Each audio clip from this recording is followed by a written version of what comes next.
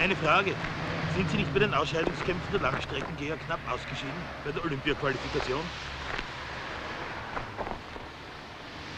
Eine Gegenfrage. Was ist grün und stinkt? Das kann ich Ihnen im Dienst leider nicht beantworten. Noch eine Frage. Warum meinen Sie, dass ich ein Funkstreifenfahrrad habe und keinen Wagen? Das kann ich Ihnen leider nicht beantworten, solange Sie im Dienst sind. Richtig. Ich habe keine weiteren Fragen mehr. Nun zur Belehrung. Sie haben Trauer. Aber wer trauert, bedroht die Welt. Und zwar indem er nichts tut.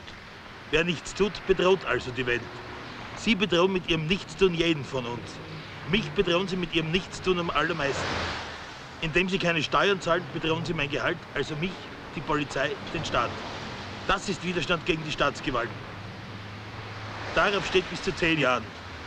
Was gedenken Sie gegen Ihr Nichtstun zu tun?